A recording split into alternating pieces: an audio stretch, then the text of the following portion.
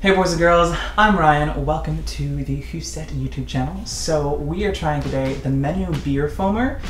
This little guy is amazing. What you're supposed to do is fill up your beer mug, stein, glass with your beer, except for about an inch of it, you're going to pour into this and then spin it, and that's gonna foam just the very top to give you a draft effect. We're gonna see if it works. So we're gonna start with our Glutenberg. It's in a can, trashy, love it. We're gonna try just half an inch. I know, you're like, bro, this is the most exciting thing I have ever seen in my whole life. I'm so excited. We have our filming experience.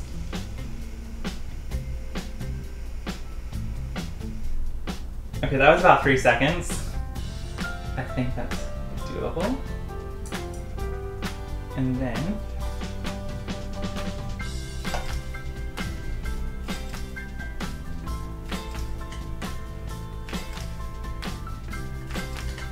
you get like a draft top. And now I'm gonna try it.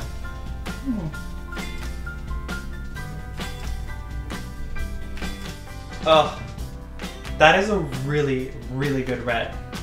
It's like, you know, nutty and caramelly and all those words that they use to describe beer. I'm like, people, it's beer. Uh, beer is an acquired taste, so if you don't like beer, um, that's like saying, I don't know, trying Coca-Cola and saying, hate soda. Yeah, there's like 60 different brands of soda in the world. there's a lot of different beers. But I've always been big on Smithwick's and Yuengling. This has a really similar flavor to it. And it's dark, but frothy and delicious. My god. This thing works amazingly well. What? Uh, green. Uh, they also make a dark and they make a blonde. But wait, this is the blonde. And they make an amber. Yes, they make an amber. It's very sweet, almost melony. Um, not like melony breakfast. I'm not drinking. Anyway, um, so the red ales, that was very nutty, very very dark, but it, it, had kind of a nutty flavor. This has more of a sweet, aromatic flavor to it. Uh, I generally don't like pale ales, but the blonde ale isn't nearly as uh, tart, I want to say. There's something bitter and very hoppy and unappealing about pale ales, and this does not have that quality. It's magical.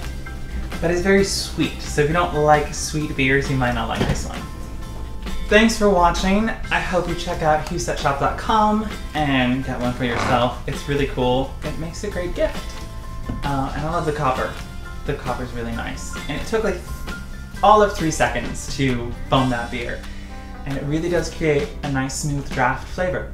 So thanks for watching. I'm Ryan. If you want to see my cooking channel, you can click on me. I'll make that easy. And you can get the link to Huset down below. Also check out our Instagram and